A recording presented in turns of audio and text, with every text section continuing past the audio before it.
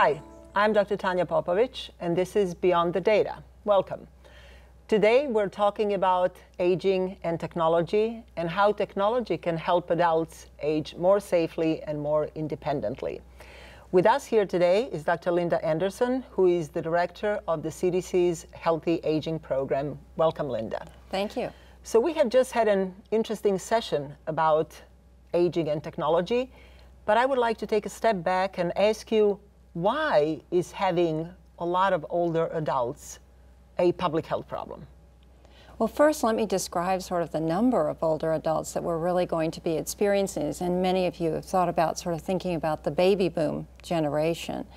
And in January of 2011, when the baby boomers started turning 65, we now know there'll be between 9 and 10,000 people turning 65 every day.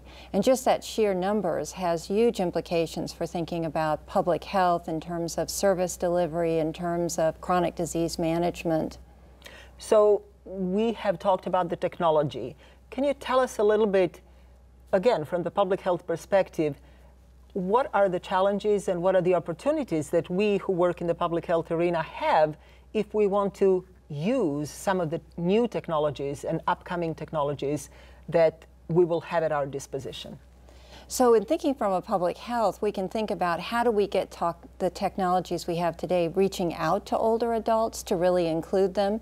We have often been in our Healthy Aging program working with the Aging Services Network, which really touches the lives of older adults. So bringing in technology, public health, and aging services, we can really make a difference to really have older adults begin to use technologies more effectively. Do we know how receptive older adults are to use of new technologies? Well, we know from a recent study that about 53% um, of older adults are using online types of technologies back in 2010, and that's increasing all the time. But that's an area that we really do need to do more work about is to get older adults to be comfortable with technology. So this is communication technologies.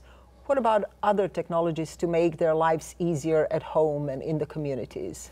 And so we do know that older adults are certainly willing to adapt with technologies and to use them, but we really have to get over some of the stigma of thinking about technologies and perhaps even resistance to certain kinds of home technologies, an important area for public health. We have heard about the yuck factor. Mm -hmm. What is that?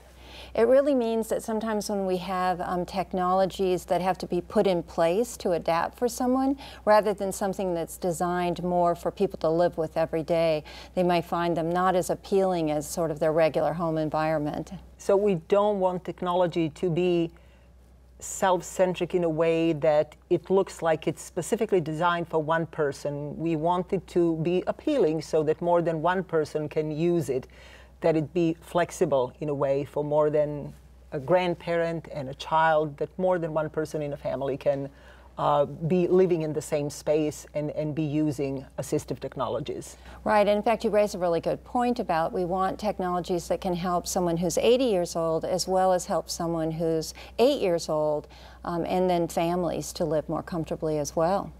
So, what would be one or two key messages that you would send to the growing number of older adults that we now have in our country.